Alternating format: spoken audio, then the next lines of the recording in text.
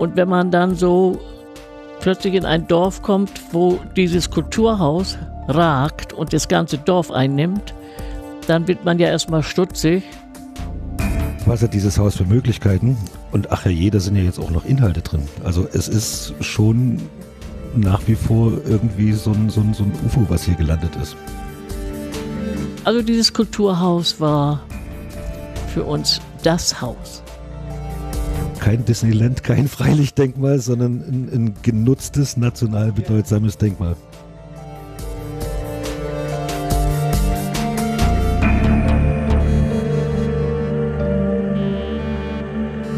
Staatsbürgerkunde. Ein Podcast über das Leben in der DDR. Von Martin Fischer. Folge 101 Musterlösung.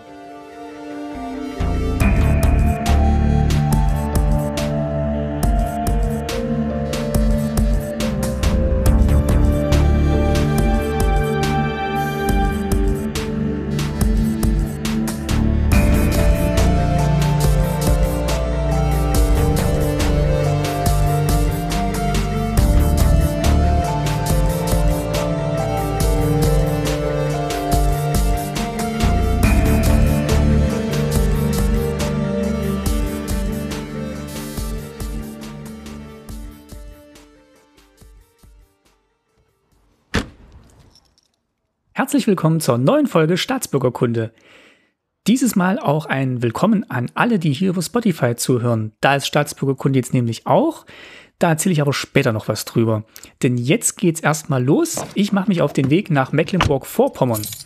Dort liegt 40 Kilometer vor Schwerin das Dorf Mestlin. Und wenn man nicht aufpasst, ist man schnell durchgefahren auf der Bundesstraße von Goldberg nach Kriwitz. Aber wenn man rechtzeitig abbiegt, kommt man direkt auf den Marx-Engels-Platz raus. Das ist ein riesiger mit Kopfstein gepflasterter Platz. Viel zu groß für das kleine Messlin eigentlich. Genauso wie das Haus mit der Nummer 5 direkt am Marx-Engels-Platz. Denn unter der Nummer findet man das Kulturhaus. 700 Quadratmeter Fläche auf zwei Stockwerken, mehrere Veranstaltungsräume, eine Gaststätte, ein großer Saal mit Bühne und Orchesterraum. Das ist die drittgrößte Bühne Mecklenburg-Vorpommerns. Und das ganze Haus ist das Aushängeschild für das einstige sozialistische Musterdorf Mestlin. Dort bin ich verabredet mit Lotte Hansen und Peter Enterlein, die mir mehr über Haus und Ort erzählen können. Wir sitzen hier zu dritt in der Weinstube, habe ich jetzt gerade erfahren, vom Kulturhaus Mestlin und wollen ein bisschen sprechen über das Kulturhaus, vielleicht auch über Mestlin, ähm, das manchmal genannt wird das Musterdorf ähm, oder ein, das einzige Musterdorf äh, der DDR, wobei Kulturhäuser es ja mehrere gab und immer noch gibt, aber den Begriff Musterdorf, den hört man nicht so oft.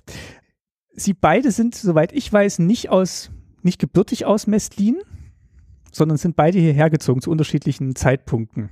Vielleicht fangen wir mit Ihnen an, Frau Hansen. Ich habe mir aufgeschrieben, dass Sie seit 1958 in Mestlin sind und ich habe nachgeguckt, das Kulturhaus wurde fertig 1957. Das heißt, Sie haben das Dorf kennengelernt, da stand das Kulturhaus schon.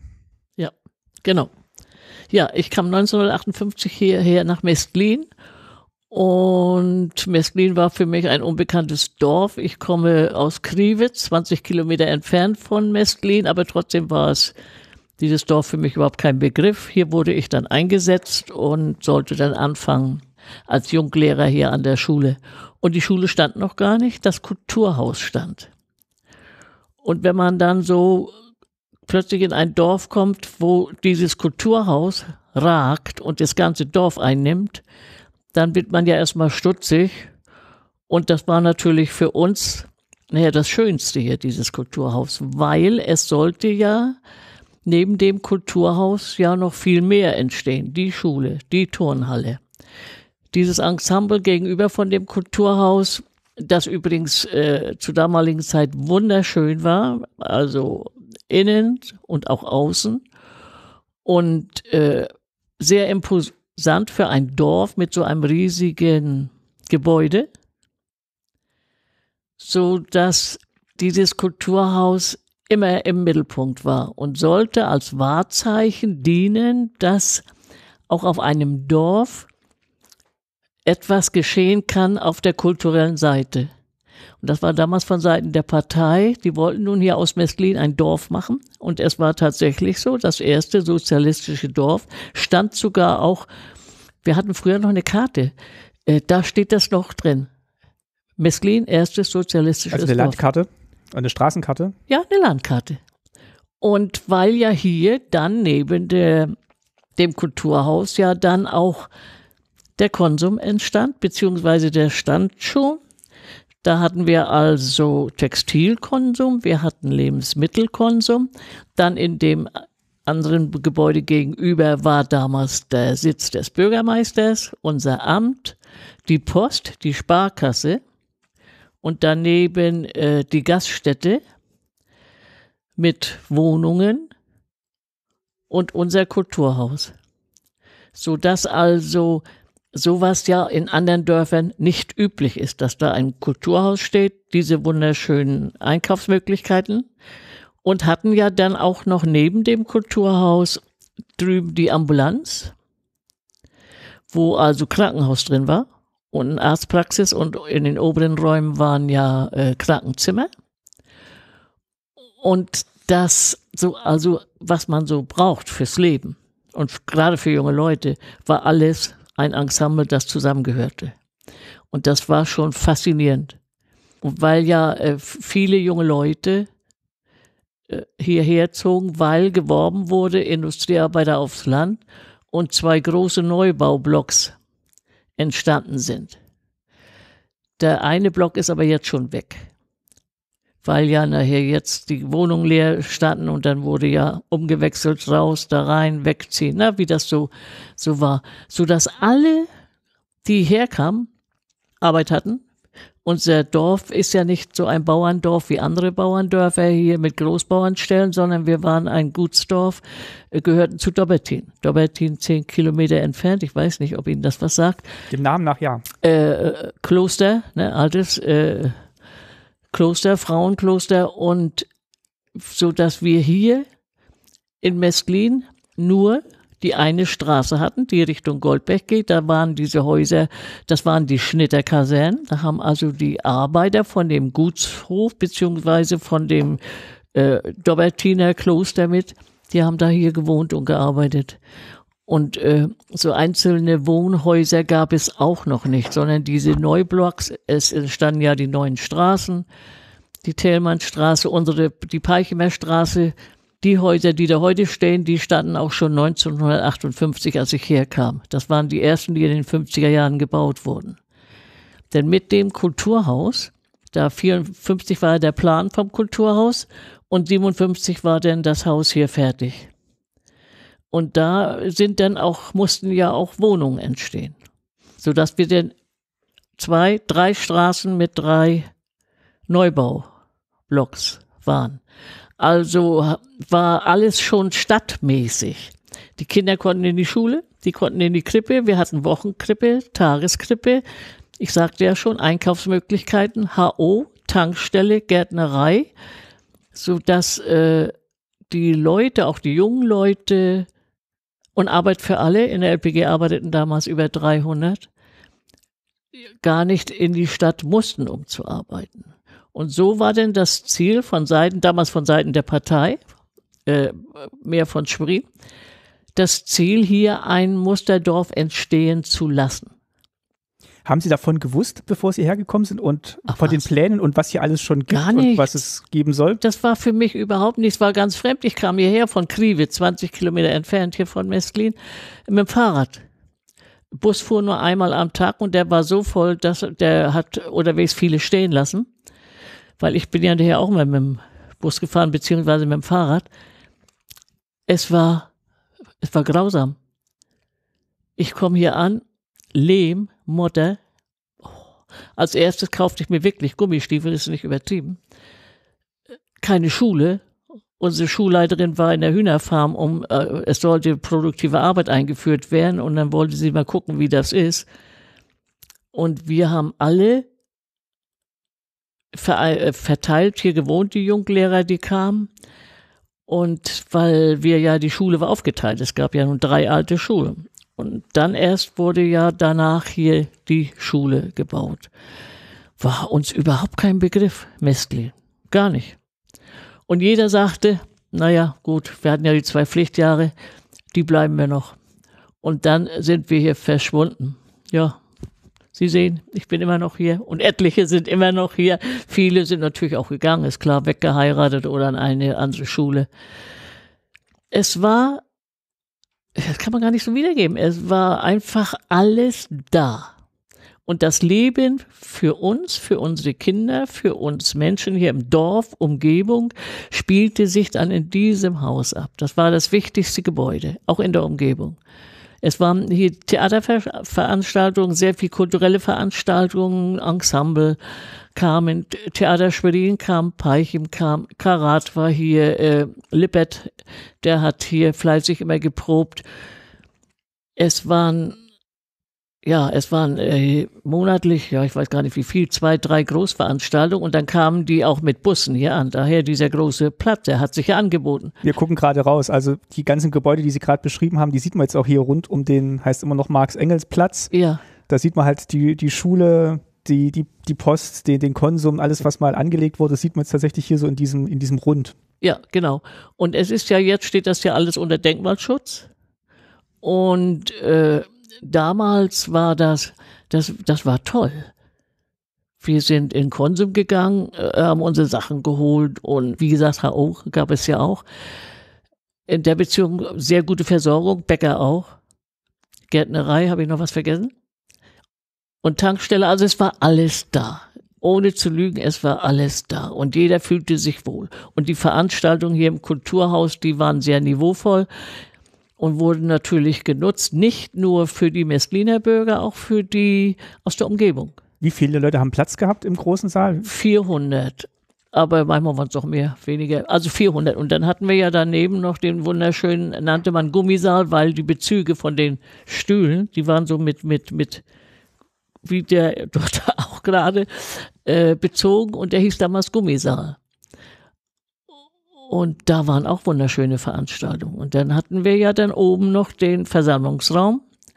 Der wurde auch sehr viel genutzt, weil ja sämtliche, ich sag mal, Bezirksveranstaltungen, auch von Seiten der Partei, fanden hier in dem Haus statt. Denn wo findet man schon so einen schönen Saal?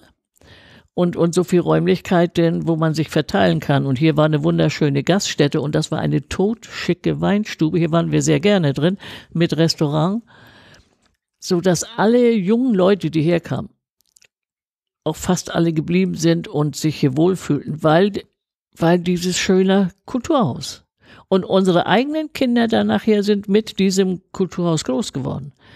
Es wurden alle äh, Namensgebungen, Jugendweihe, äh, Tanzveranstaltungen für die Kindertanzschule und die Arbeitsgemeinschaften aus der Schulzeit, die es ja gab bei uns sehr viele in der Schule, am Nachmittag spielte sich die Hälfte davon hier in dem Kulturhaus. Also es waren nicht nur Veranstaltungen für die Erwachsenen am Abend, sondern es war auch ein Begegnungsort für Schülerinnen und Schüler, weil Sie gerade gesagt haben, auch AGs, Arbeitsgemeinschaften. Auf alle Fälle, statt. auf alle Fälle, auf alle Fälle. Wir haben ja sogar zehnte Klasse, was jetzt heute üblich ist. Damals haben wir es getan.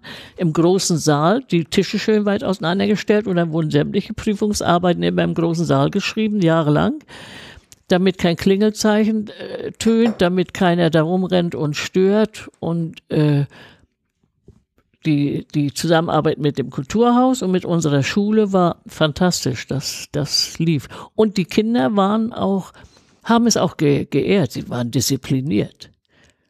Denn als ich herkam, musste ich Sport übernehmen und habe dann nachher noch sieben Jahre lang, ja nicht ganz, auf der Bühne Sport unterrichtet. Wir hatten ja noch keine Turnhalle.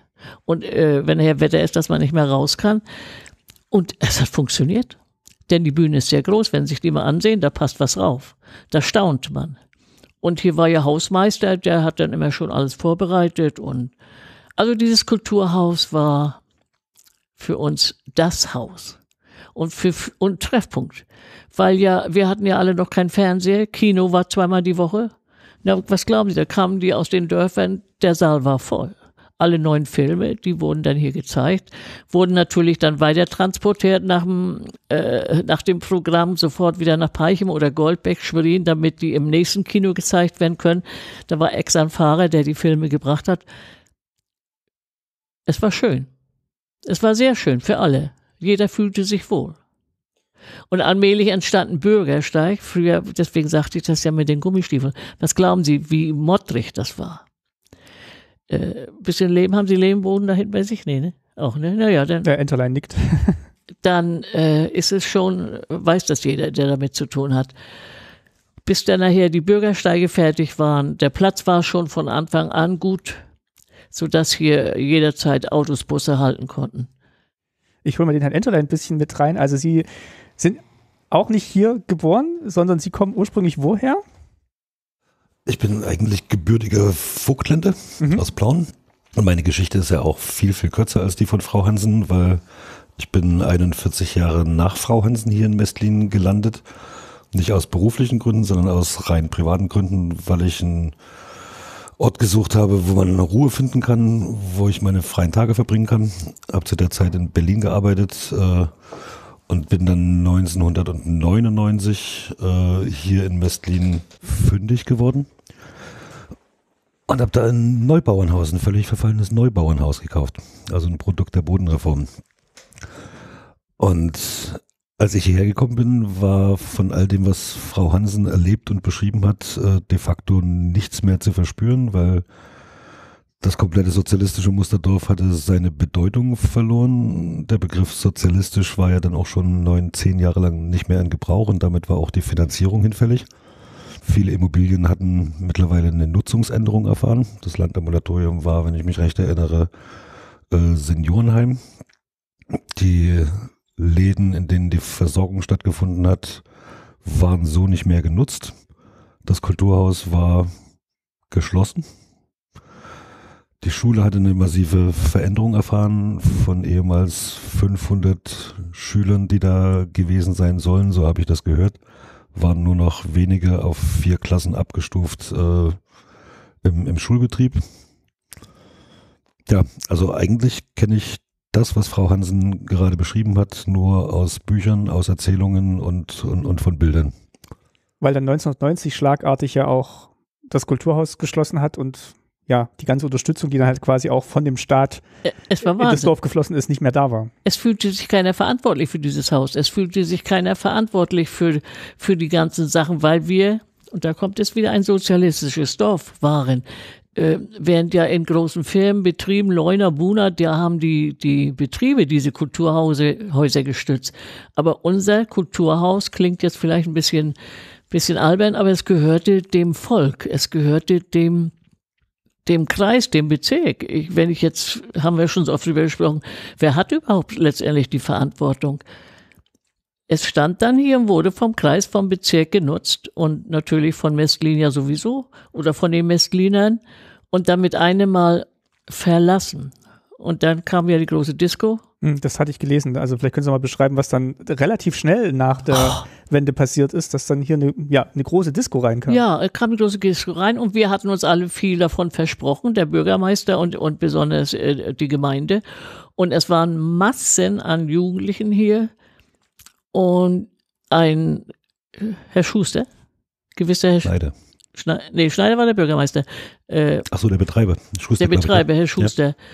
Und der hatte versprochen, dass die dann die Gemeinde äh, Gebühren kriegt für Parkplätze und alles Mögliche und wir würden da nur gewinnen. Naja, und da wir ja plötzlich dieses Haus hatten und was machen wir damit? Geld ist nicht da. Und, kam, und kam auch keins mehr rein? Überhaupt nicht. Mestlin war verschuldet. Und dann hat jeder im guten Glauben, wir hatten ja keine Erfahrung mit der heutigen Zeit, wie sich das so schnell verändert. Da war das passiert. Ich weiß nicht, die haben ja, äh, ich weiß es nur nachher von meinen Kindern, die immer sagten, äh, Mutti geht da nicht rüber, es sieht grausam aus. Und mein Mann war damals hier Vorsitzender des Dorfclubs. Und der hatte auch einen Schlüssel fürs Kulturhaus. Und dann irgendwann hieß es, es ist alles vorbei. Und dann kamen wir hier rein und das war, ja, es war Schweinestall, kann man gar nicht mehr dazu sagen. Das heißt, die Disco war dann schon raus? Also die hat, Disco hat war raus getragen? und der war abgehauen. Mhm. Und wir haben keinen Pfennig gesehen hier. Und hat teilweise auch Sachen mitgenommen, hatte ich gelesen. Also wirklich Inventar war, ja, dann, war dann weg. Nehmen wir an, es ist dann Also war nicht begründet, aber sehr hat dann viel, gefehlt. ja, wir hatten, und es hat ja auch keine Kontrolle und es ist ja auch keiner rübergegangen und der Bürgermeister auch nicht. Hat gedacht, das läuft ja, hier kommen die jedes Wochenende und es wird angenommen, wie doll. Und die haben ja dann die Wände gestrichen und dann haben die äh, in den Saal äh, Sand reingefahren und äh, Strandkörbe reingestellt und die Bühne oben hatte ja noch einen Orchesterraum und das wurde dann äh, zuge äh, mit Brettern zugenagelt, so dass sie da oben dann auch noch tanzen konnten und Lärm machen konnten und hier diese Weinstube, die war so schick, als wir dann hier reinkamen.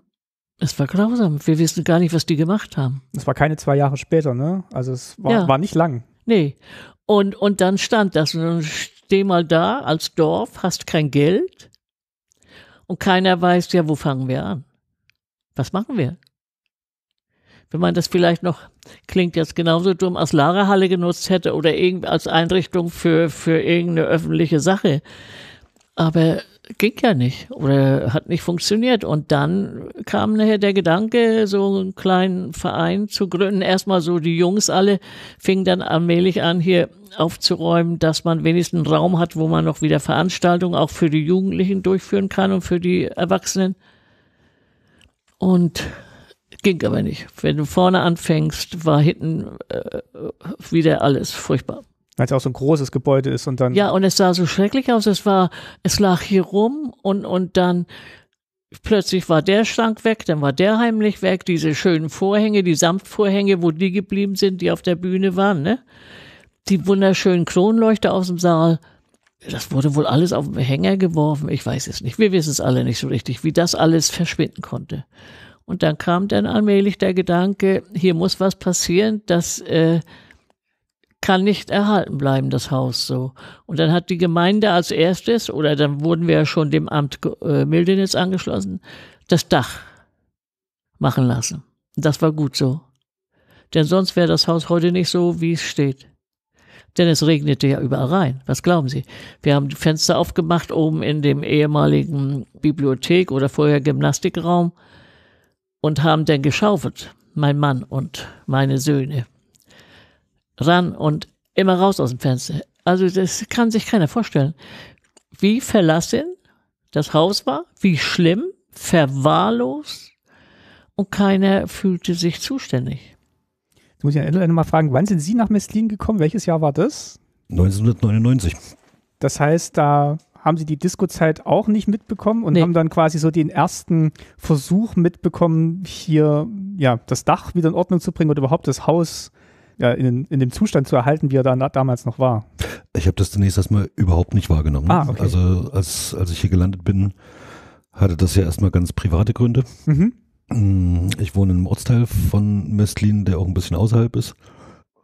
Und habe natürlich beim Bewegen durch Dorf, durch Zentraldorf, gesehen, da steht ein großes Haus. Und Sie sind aber immer noch nach Berlin gependelt zu der Könnte Zeit. ein Kulturhaus sein. Ich bin zu der Zeit, äh, was ich heute auch noch mache, äh, regelmäßig beruflich nach, nach Berlin unterwegs gewesen.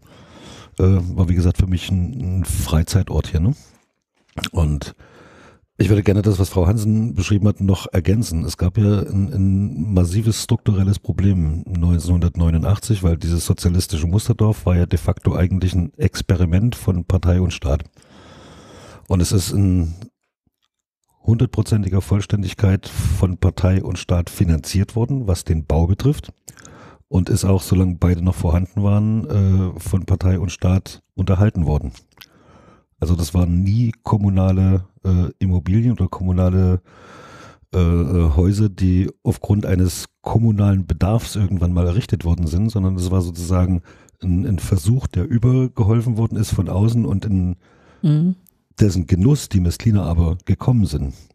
Aber eigentlich völlig untypisch fürs, fürs, für, den- für den ländlichen Raum, völlig untypisch für die Dörfer, was natürlich für die Messliner hervorragend war.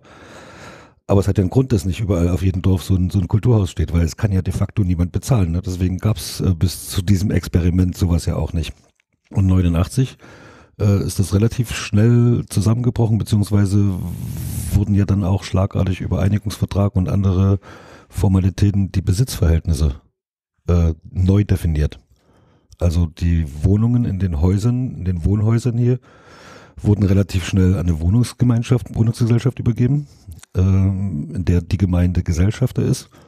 Ähm, Landambulatorium und Schule und Kulturhaus äh, hatten zunächst, glaube ich, erstmal das Land Mecklenburg-Vorpommern als Rechtsnachfolger des ehemaligen Bezirkes Schwerin als Eigentümer.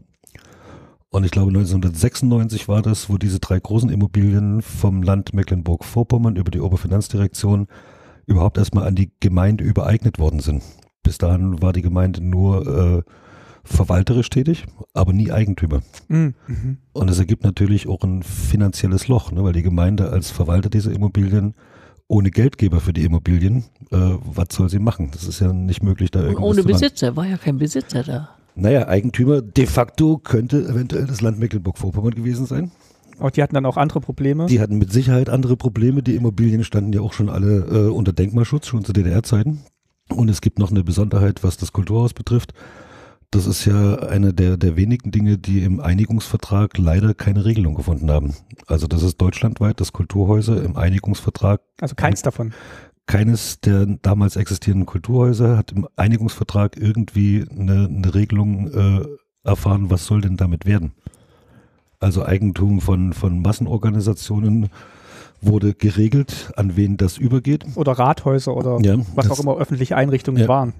Also genau. äh, so ich das weiß, ist das Kulturhaus äh, auch nie irgendwie im Eigentum der Treuhand gewesen oder sonst irgendwas, ne? Sondern es war immer irgendwie so ein, so ein juristisches Vakuum und das hat, glaube ich, viele, viele Dinge ermöglicht, beziehungsweise äh, viele Sachen äh, zur Folge gehabt, wo auch die Gemeinde handlungsunfähig war. Weil was machen wir jetzt? Wir, Denkmalschutz, großes Haus, wenige Einwohner, kein Geld niemand, der das Haus betreiben kann, aber gleichzeitig viele Leute, die es genutzt haben. Das ist ja ein, ein Sammelsurium von ganz verschiedenen verwirrten Situationen. Und jetzt haben Sie das gesehen, also als jemand, der hier ein schönes Haus gekauft hat, renoviert hat und haben festgestellt, okay, hier gibt es dieses Kulturhaus, aber hatten erstmal noch nicht so viel damit zu tun, sondern haben es erstmal so wahrgenommen und geguckt, dass, was es hier überhaupt gibt?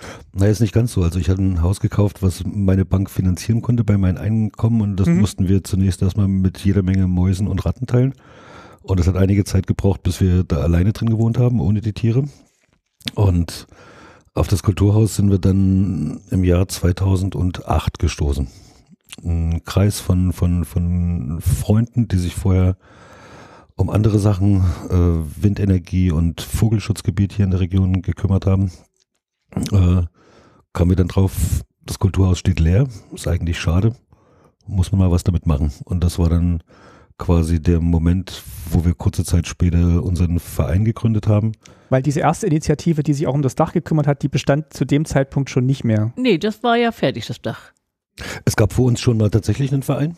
Äh, der, der vier oder fünf Jahre funktioniert hat und sich hier auch für das Haus engagiert hat. Äh, das hat aber dann in irgendeiner Art und Weise im Zusammenspiel mit der Gemeinde nicht mehr funktioniert. Die haben sich, die haben sich aufgelöst. Und dann stand es erstmal wieder. Dann stand es wieder leer. Wieder leer. Allerdings mit einem funktionsfähigen Dach, was, was so wie Frau Hansen das beschrieben ja. hat, die, die Situation natürlich erstmal stabilisiert hat. Und alles wurde ja äh, geschlossen. Der Konsum drüben wurde geschlossen. die Gemeinde, die Post war nicht mehr drin. Die Gaststätte, schöne kleine Gaststätte Kick-In, wurde zugemacht. Die LPG, die früher mal äh, über 300 Mitglieder hatte oder ja mehr, aber Arbeitskräfte, die stand plötzlich da ohne Herr und Freund.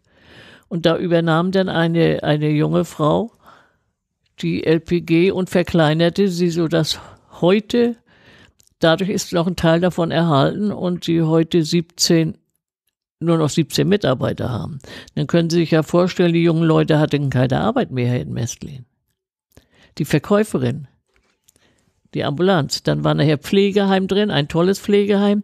Die ganzen Schwestern, die wurden ja dann äh, arbeitslos, beziehungsweise wurden dann von dem Besitzer des Pflegeheimes, ein gewisser Herr Lindner, der baute dann neu in Parchim, wurden dann da alle mitgeworben, um da mitzuarbeiten, haben dann ihre Arbeit wiederbekommen. Und so ging das.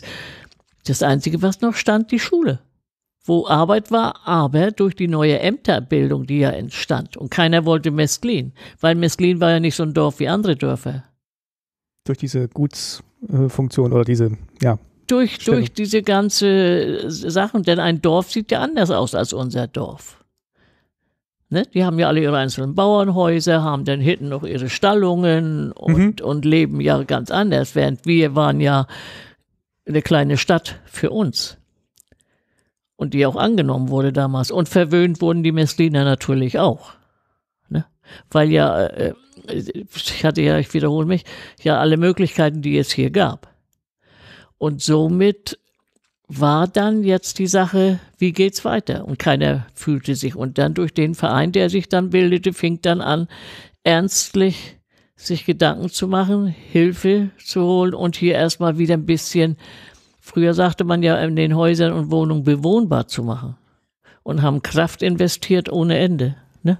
Wie haben Sie denn angefangen? Also standen Sie vor diesem großen Haus, Herr Enterlein, und äh, haben vielleicht auch gesehen, wie es in den Räumen aussieht. Gut, das Dach war jetzt dicht, aber der, die restlichen Räume waren ja auch erstmal ja, ein bisschen runtergewirtschaftet durch die Disco einerseits, dann durch die jahrelange, ja, das jahrelange nicht kümmern. Was haben Sie denn, was haben Sie denn hier drin gesehen, wo Sie gedacht haben, da, da setzen wir an? Eigentlich erstmal nur ein großes Haus und ein Ort, äh, mit dem man ganz viel machen kann. Also auch ein Veranstaltungsort, ein denkmalgeschützten Veranstaltungsort. In unserem Verein waren und sind eine ganze Menge Menschen, die in irgendeiner Art und Weise äh, auch, auch künstlerisch begabt sind, beziehungsweise im Veranstaltungsbereich unterwegs. Ähm, und wir haben hier die große Bühne gesehen und wir haben den großen Saal gesehen und wir haben die Möglichkeiten gesehen und waren der Meinung, auch wenn das völlig anachronistisch ist, weil es hier eigentlich nicht hergehört, aber jetzt ist es ja mal da. Insofern wäre es ja gut, wenn man mit dem, was da ist, äh, auch was anfangen kann. Und dazu muss man das, was da ist und leider völlig verwahrlost wieder in den Zustand bringen, damit man was damit anfangen kann. Das war uns am Anfang aber alles überhaupt noch nicht so klar. Also wir wussten weder, wie man sowas finanzieren kann. Wir wussten nur, dass die Gemeinde überschuldet ist und deswegen keinen Eigenanteil leisten kann. Äh, wir wussten nicht, wie die Biografien der Einwohner und die Geschichte des Dorfes mit dem Kulturhaus, mit diesem sozialistischen Musterdorf verbunden, wie intensiv das verbunden war miteinander und miteinander verwoben. Äh, das haben wir alles im Laufe der Jahre alles mühselig uns zusammengesucht und begriffen und verstanden. Damit auch die Funktion dieses Kulturhaus in, in, in der Vergangenheit äh, verinnerlicht. Ja, dann war das ein großes Suchen danach, wer kann denn Geld geben, um dieses Denkmal wieder in den Zustand zu bringen, dass man es breiträumig äh, für verschiedenste Dinge nutzen kann. Und gleichzeitig ist uns natürlich klar geworden, dass sich das Freizeitverhalten äh, nach der Wende sowohl der, der, der Einwohner von Mestlin als logischerweise alle anderen Menschen äh, im, im, im Land völlig verändert hat. Also da war ja plötzlich eine Vielfalt vorhanden an Dingen, die man am Wochenende tun kann. Äh, Kino war plötzlich in jeder Kleinstadt möglich äh, verreisen, wegfahren, Veranstaltungen, alles Mögliche. Also das Kulturhaus hätte ja selbst, wenn es den Diskothekenbetrieb unbeschadet überlebt hätte, erstmal einen ganz massiven Verlust an Nutzern und Besuchern erfahren. Gleichzeitig sind ja in Westlin auch die Einwohnerzahlen deutlich zurückgegangen. Und damit war das Problem eigentlich noch viel größer. Und wir haben dann einen Lösungsansatz gesucht, indem wir gesagt haben, gut, dann ist es eben nicht mehr nur das Kulturhaus für Mestlin und äh, die Region. Frau Hansen hat das vorhin erwähnt. Also wir haben immer wieder Besucher, die hierher kommen und sagen, ach, war das damals schön. Wir sind von unserem Betrieb, unser äh, VEB in Schwerin, XYZ, einmal im Jahr zur Betriebsfeier nach, nach Mestlin gefahren. Haben wir ganz viele Leute, die das sozusagen mit, mit ihren Arbeit, damaligen Arbeitgebern hier so erlebt haben. Also das hatte schon zu DDR-Zeiten auch eine Ausstrahlung im Umfeld von 40, 50 Kilometern. Aber trotz alledem waren wir der Meinung, dass das auch noch nicht ausreichend ist, äh, das zu reaktivieren, um eine sinnvolle Nutzung des Hauses darzustellen. Das heißt also, wir haben versucht dann noch eine dritte Ebene zu finden, die heißt, was spricht dagegen, dass Menschen aus Hamburg, aus Berlin, aus Rostock, aus Wismar, aus weiß der Teufel woher, inklusive der auch äh, sich vermehrenden Touristen im Transit an die Ostsee. Damals hat ja dann die, die Ostsee auch wieder touristisch an Attraktivität gewonnen, nachdem erstmal Italien, Frankreich und Spanien einige Jahre wichtiger war. Die kommen ja alle hier vorbei. Und wenn es an der Ostsee regnet, regnet es ja auch und es sind 80 Kilometer. Was macht man mit zwei Kindern? Denkt man drüber nach, wie gestalten wir heute den Tag? Und das war dann unsere Überlegung zu sagen, gut, wir müssen noch Veranstaltungen machen, die genau diese Leute hierher holen und in der Summe der verschiedenen Nutzungs- und Wirkungsebenen kriegen wir es vielleicht äh, gelöst, neben der Sanierung des Hauses auch tatsächlich äh, eine Daseinsberechtigung nachzuweisen, weil es gibt Leute, die gehen hier rein. Und das ist ja, auch wenn es Denkmal ist, für eine Immobilie immer das Wichtigste, dass die genutzt wird. Wenn die nicht genutzt wird, fragen sich alle, was ist das?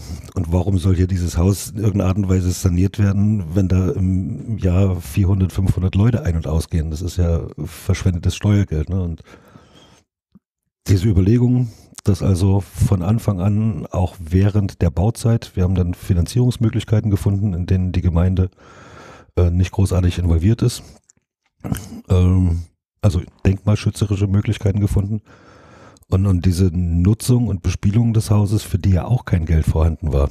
Also wir konnten das ja nur im Rahmen unserer Möglichkeiten als ehrenamtliche Eigenleistung stemmen. Mehr geht ja nicht. Also wir konnten keine Künstler einkaufen, weil wir die nicht bezahlen konnten. Äh, gleichzeitig hätten wir Künstler eingekauft und hätten versucht, die zu bezahlen mit den Eintrittsgeldern, die wir äh, erwirtschaften, wäre das nach kurzer Zeit ein Fiasko gewesen, weil so viele Leute kennen das Kulturhaus ja nicht. Also das ist ein, ein sehr filigranes Geflecht in denen die Eigenleistung eine sehr große Rolle gespielt hat. Und ich glaube, jetzt gut 13, 14 Jahre später ist da bei Weitem nicht alles gelöst. In keinster Art und Weise. Also das Haus hat nach wie vor noch einen großen Sanierungsbedarf, aber ganz, ganz wichtige Dinge sind mittlerweile erreicht. Also die bauliche Hülle ist erstmal wieder definiert, Fenster und Türen sind in Ordnung, einsturzgefährdete Terrassen sind äh, mittlerweile saniert, es gibt eine sanierte Toilette, wir haben den Innenbereich zumindest nutzbar gemacht. Die Fenster sind jetzt neu. Ja. Äh, gibt leider noch keine Heizung. Aber auch da steht die Frage, wenn es denn mal eine Heizung gibt, wer bezahlt das? Das habe ich auch gelesen, dass diese dass die Heizungsanlage ja immer nur fürs ganze Haus quasi angelegt es, war. Es ist irre. Und man jetzt nicht sagen kann, jetzt heizt sich einfach mal, meinetwegen hier die Weinstube oder den, den, den, den, äh, den Gymnastikraum, sondern man muss halt immer die Heizungsanlage gesamt betrachten. Ja. Und man darf auch nicht vergessen, äh, so nach der Wende, alle jungen Leute, die hier gerne, jetzt sind sie ja alle schon älter, und wir jung waren, ja, unsere Jugend hier wirklich verbracht haben und mit Freuden, sind ja inzwischen schon uralt. Ne? Zudem, wenn man das vergleicht, ja zeitlich. Und all die jungen Leute mussten ja leider raus aus Messlin. Unsere ehemaligen Schüler, die mussten alle in die Fremde. Hamburg, Rostock, wegen Arbeit. Hier gab es ja nichts mehr. Es wurden die Betriebe zugemacht. Auch hier gab es mal Kreisbetrieb für Landtechnik, wurde geschlossen. Prüfstelle Potsdam, Landmaschinen existierte nicht mehr. Die LPG existierte nicht mehr. Und alle kleinen Betriebe, die hier, die ich vorhin aufgezählt habe, waren dicht. Nur noch unsere Schule. Was, und das ist für, für so viele heute noch immer wieder, oh nee, nee, nee, wenn ich noch dran denke, das war wie ein, ein Schock und eine Schockstarre. Plötzlich müssen alle Fahrzeuge haben, Auto haben. Früher fuhren die Busse ja nach ins Gasbetonwerk, in Parch im Hydraulikwerk. Da standen die Arbeiter und fuhren dann mit dem Bus, wurden geholt, wurden gebracht. Und es veränderte sich ja total das gesamte Leben bei allen. Und da spielte dieses Haus auch immer eine große Rolle mit. Und plötzlich äh, wird eben durch den Verein dafür gesorgt, dass einiges wieder stattfindet, aber es ist schwierig, die Leute nehmen es nicht mehr so an, weil die auch verwöhnt waren von früher, das müssen wir mal sagen, weil ja alles da war. Und das ist schwer, da wieder etwas aufzubauen und wenn du kein Geld hast, kannst du nichts machen. Und wie haben die Leute, die jetzt schon 30, 40, 50 Jahre in Westin gewohnt haben, das wahrgenommen, dass jetzt der Verein versucht, das Kulturhaus wieder mit Leben zu erfüllen? Hat die das gefreut oder haben die gesagt, jetzt ist es schon so lange geschlossen, lass es doch Ja, zu? na, mit Freude würde ich noch nicht mal sagen. Sie äh, haben zuerst noch nicht den Weg gefunden, das anzuerkennen oder anzunehmen. das wird ja sowieso nichts und, und oh Gott, wie wollen die das schaffen? Und wenn wir dann sagten, ihr könnt ja auch mithelfen, es war schwierig. Denn wir hatten ja, ich sagte ja schon, mein Mann war damals Vorsitzender vom, vom Dorfclub und wir haben, waren ja dann fast alle Mitglied des Kulturbundes und haben ja dann äh, hier der Film, äh, damalige noch hier Kulturausleiter, mein Mann und noch ein Kollege von mir, die haben dann den Kulturverein, das darf man nicht verwechseln, hier in Messlin gegründet, so dass wir dann die erste Zeit 70 Mitglieder und mehr hatten. Da waren ja noch alle aktiv. Jetzt sind wir nur noch, der existiert ja heute noch, aber nun sind wir nur noch 30 Mitglieder. Es sind die meisten überaltert, verstorben, weggezogen und viele äh, sind nicht mehr da. Und äh, so, nun haben wir dieses große Haus, haben einen ganz tollen Kulturverein, der sehr rührig war und auch noch ist. Jeden Monat eine Veranstaltung, auch immer durchgezogen. Wo willst du hin? So, und da haben wir da drüben, wenn Sie darüber gucken, gegenüber in dem ehemaligen Lebensmittelkonsum mhm. Ein, eine Begegnungsstätte eingerichtet, gemeinsam mit der Volkssolidarität. Und dann war das der Anlaufpunkt für alle. Für die Älteren, für die Jüngeren auch zum Teil, wo man sich dann aufhalten konnte und die Veranstaltungen durchgeführt wurden. Und das war immer sehr schade. Ins Kulturhaus hätten wir manchmal gehen können, aber deswegen komme ich nämlich jetzt drauf wegen der Heizerei. So wie Weihnachtsfeiern und so. Aber wissen Sie, es ist doch zu kalt. Wer möchte denn in einem kalten Raum sitzen? Nun kriegt man so ein Haus warm. Das ist sehr, sehr schwer. So dass äh, auch von der Seite, von unserer Seite des Kulturhaus ja auch kaum genutzt wird. Wir gehen immer noch Treffpunkt drüben in die Begegnungsstätte. Und leider, und das bedauere ich immer noch, äh, kriegen wir die mittlere Generation, die hier jetzt in Messlin wohnt, das sind ja die Wohnungen alle belegt, mhm. aber wir kriegen die nicht bewegt, ins Haus hierher zu kommen oder sich bei uns äh, einzuklinken im Verein. Schwierig. Weil Warum? Der, weil der Bezug fehlt oder weil die. Total. Hm. Die Bindung fehlt, der Bezug und die versuchen auch gar nicht. Und wir sind alle überaltert und brauchen, brauchen Hilfe oder Nachwuchs, dass das alles noch wieder erhalten bleibt. Ansonsten ist auch dieser äh, Verein kaputt. Das wäre natürlich sehr, sehr schade. Und das, was hier der äh, Verein Denkmal Kultur leistet, ist eine ganz andere Sache als unsere unser ist ja nun noch ein äh, schöner, sag ich sagen, ein Verein, der jeden Monat was, was Gutes, Tolles äh, bietet. Kulturverein, äh, Denkmal Kultur muss aber erstmal hier versuchen, alles zu erhalten. Und das ist schwer. Und das sind so diese. Zwei, kämpft an zwei Fronten quasi. Total. Ja. Und schade, sehr schade, es gelingt uns nicht, äh, die, das Mittel, ich sage mal Mittelalter zu erreichen. Das ist mit unserer Sportgruppe so. Wir haben hier eine Sportgruppe drüben. Wir sind, waren letztes Jahr noch 17 Frauen. Leider sind wir jetzt nur noch 12, weil vier sind weggezogen, eine verstorben. Jetzt wollen wir auch schon Laufzettel oder irgendwas äh, machen.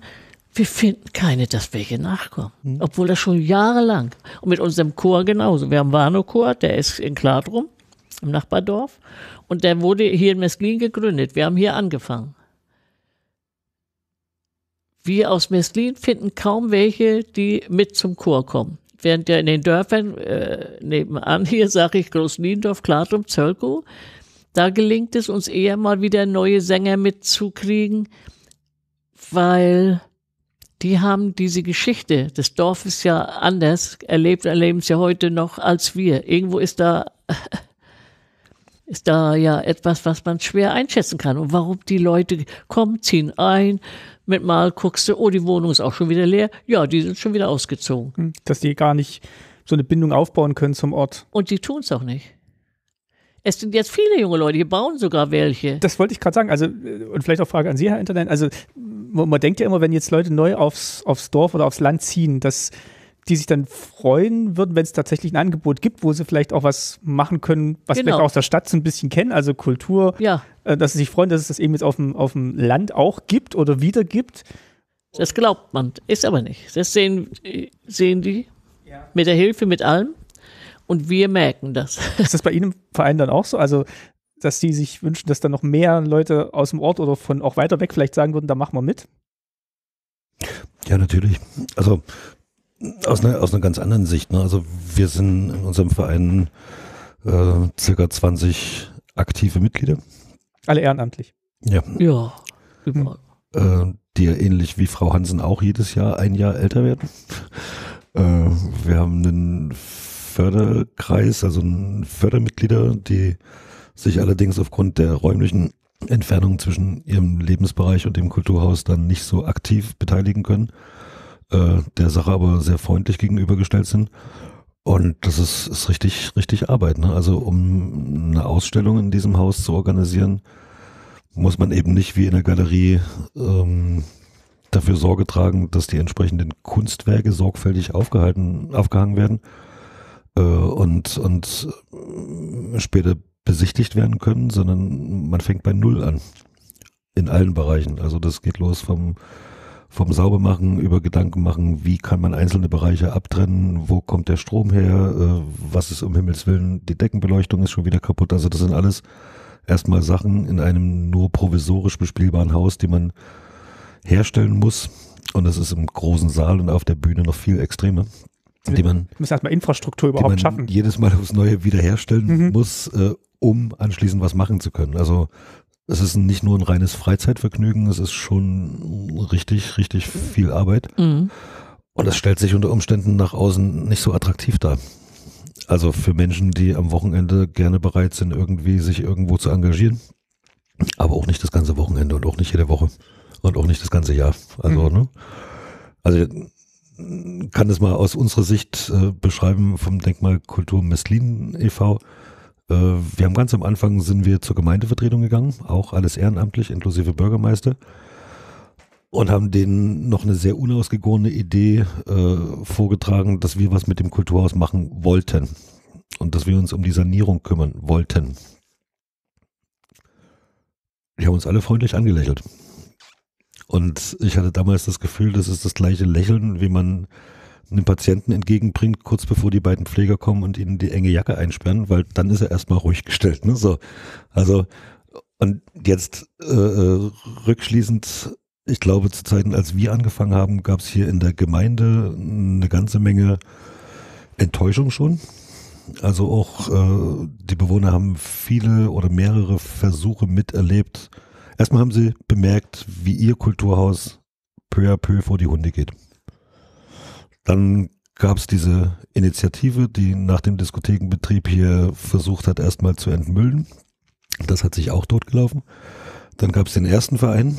Äh, das war dann nach einer gewissen Zeit auch wieder vorbei und ich glaube, es ist normal, dass man sich irgendwann anfängt, gegen wiederkehrende Enttäuschung zu schützen.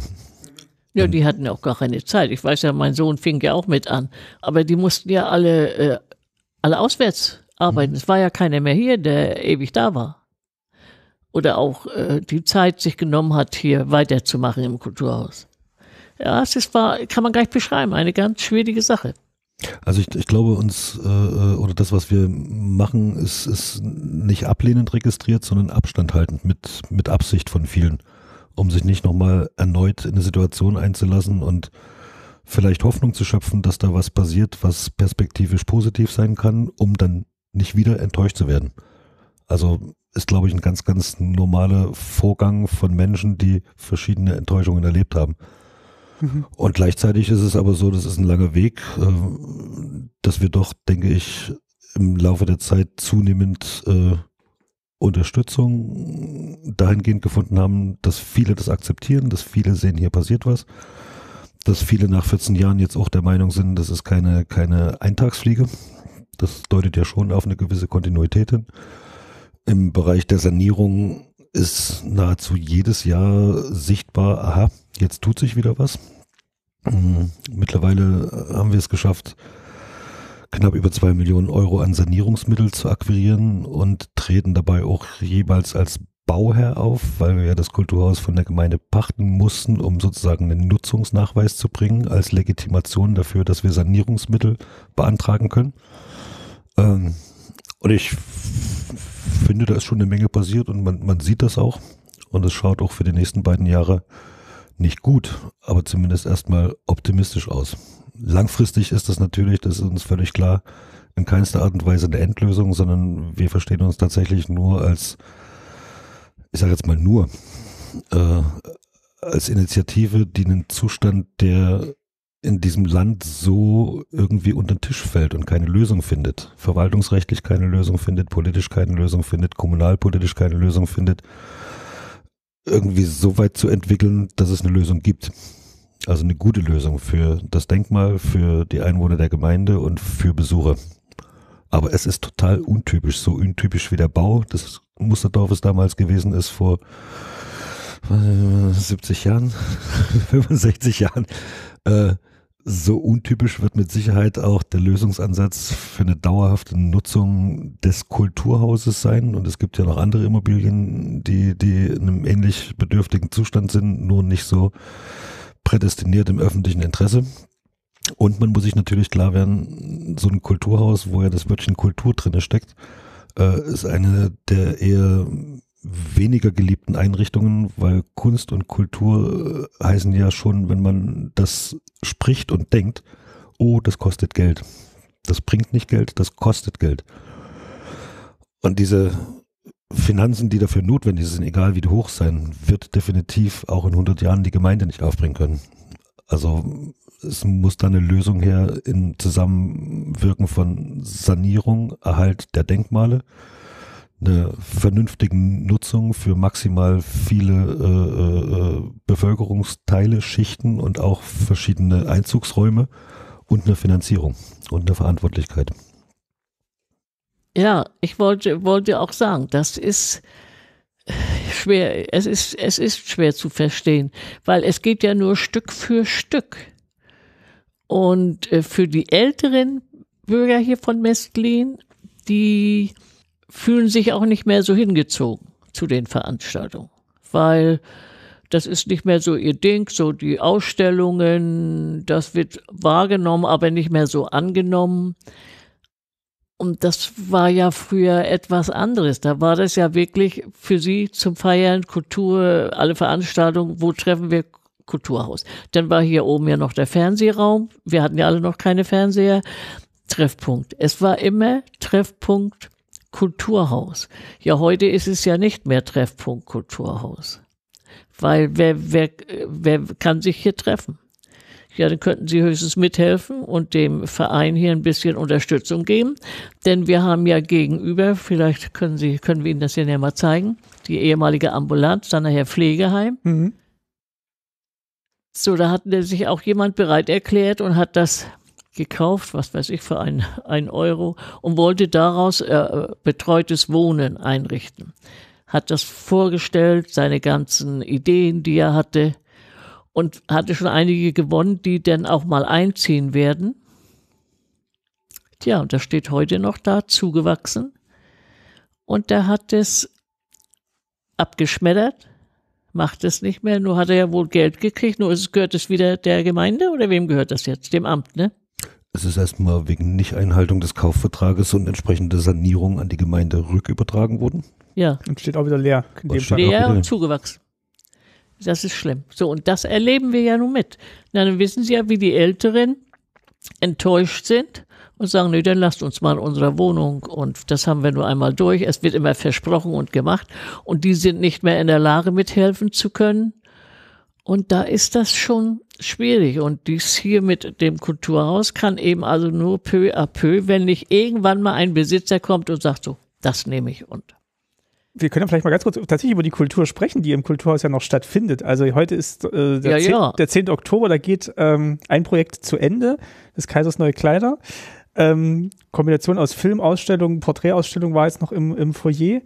Ähm, wie ist das denn angekommen bei den äh, Messlinerinnen, Messlinern, Besucherinnen, Besuchern. Herr Hinterlein, Sie hatten vorhin gesagt, Sie versuchen auch über die Region hinaus Leute zu erreichen. Ich habe bei der Herfahrt auch die Plakate gesehen, die dann schon viele Kilometer vor Mestlin anfangen, darauf hinzuweisen. Wie, ähm, wie ist es denn ergangen mit diesem Projekt oder was kommt denn vielleicht auch in Zukunft jetzt noch, wo Sie dann das jetzt abgeschlossen haben?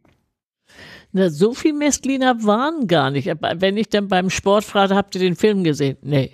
Ich sag beim Chor, wart ihr hin, habt euch, weil dreimal am Tag der Film läuft. Nee. Aber äh, wenn ich ihn frage, den guten Mann hier, der so ein bisschen Aufsicht macht im Haus, äh, sind aber doch etliche Besucher, habt ihr ein bisschen notiert, wie viel?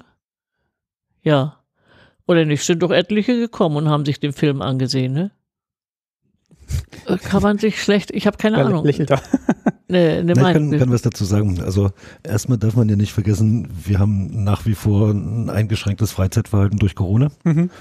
Äh, damit fallen natürlich auch Regelungen an für Besuch von, von Ausstellungen oder für Besuch von Theater oder für Besuch von Filmen, äh, den Menschen sich aussetzen müssen, um sozusagen ihr Freizeitverhalten wieder der Normalität anzupassen. Da haben wir seit Beginn des Jahres klar und deutlich gemerkt, dass nicht alle dazu bereit sind. Also es gibt nach wie vor äh, nicht nur bei uns, sondern überall deutlich niedrigere Zuschauerzahlen. Das hat bei uns gar nicht so den Hintergrund, dass es begrenzt ist, weil das Haus extrem groß ist. Äh, das ist einfach, glaube ich, eine Frage, wie, wie pegeln die Menschen mit Corona, am Ende von Corona oder vielleicht nach Corona ihr Freizeitverhalten neu ein. Und mit dieser Ausstellung und mit diesem Theaterfilm, der ja auch deswegen ein Theaterfilm geworden ist, weil Theater für Zuschauer bei uns nach wie vor wegen Corona kaum möglich ist.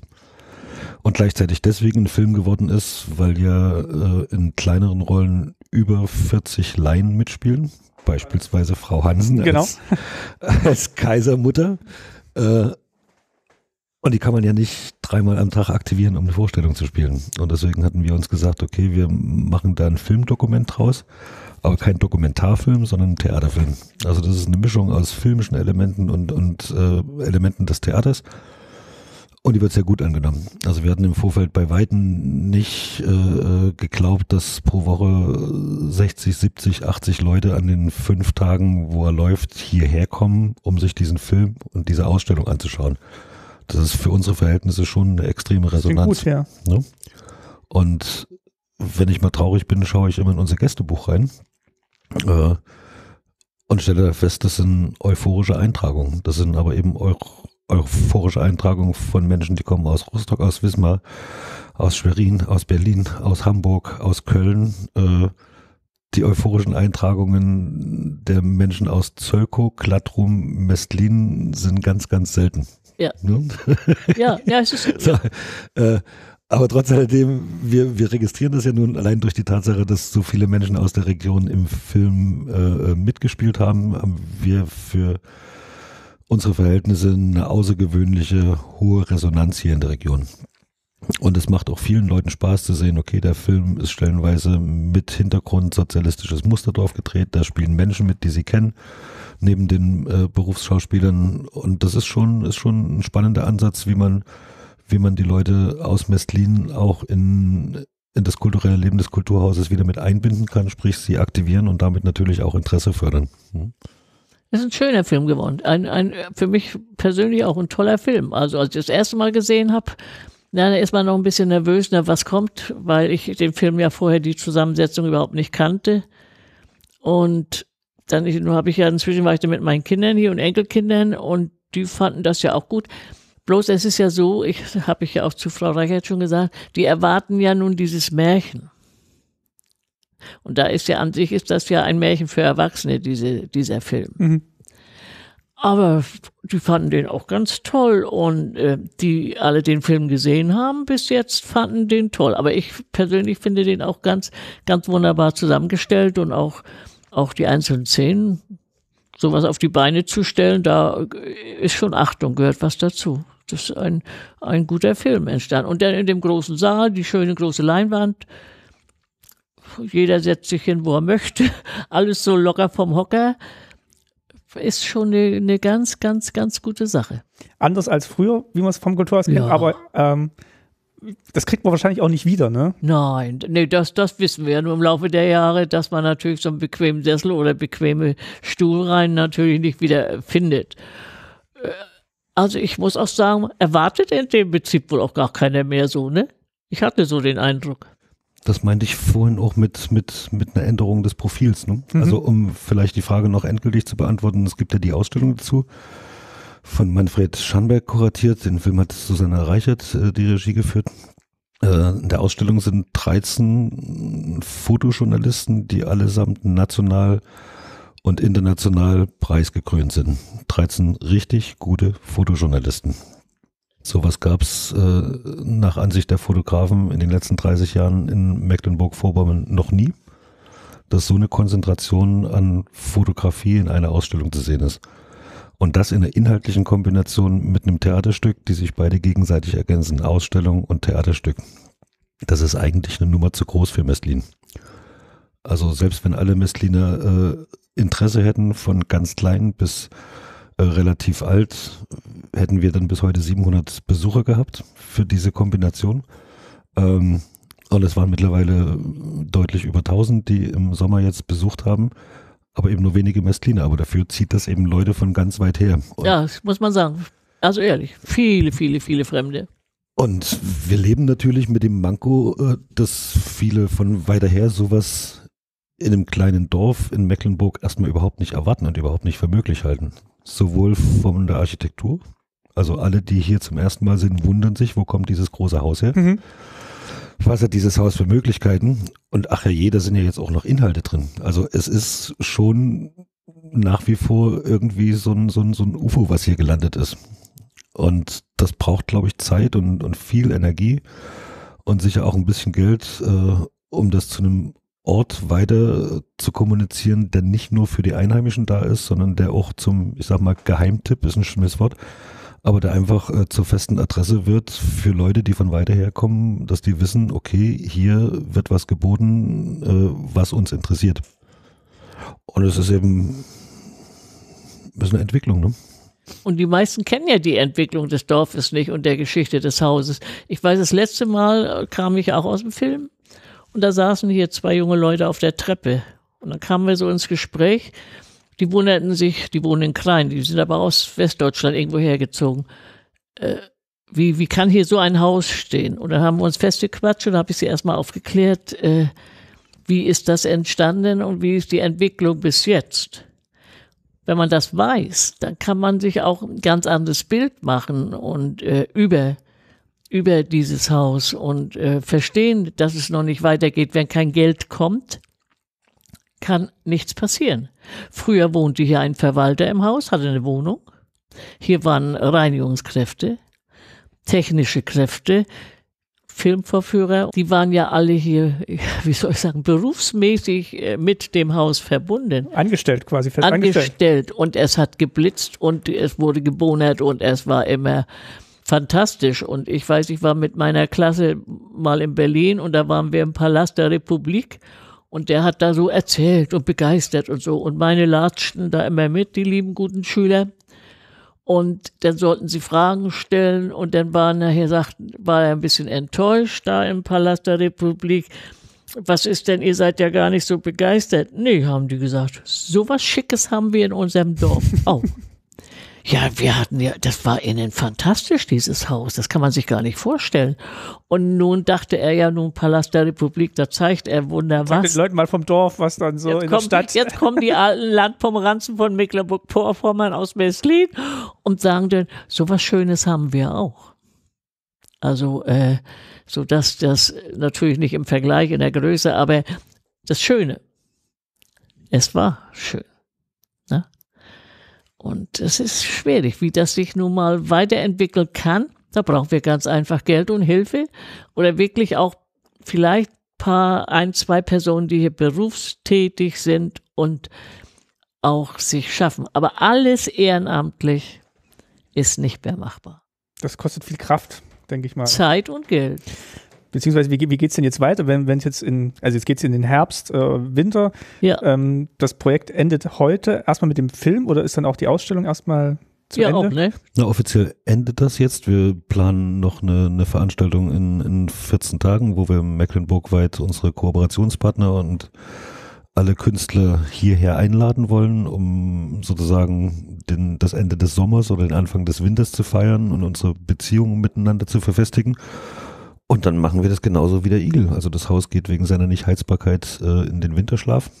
Es gibt allerdings Überlegungen, äh, wie man diesen Winterschlaf zumindest punktuell auflöst.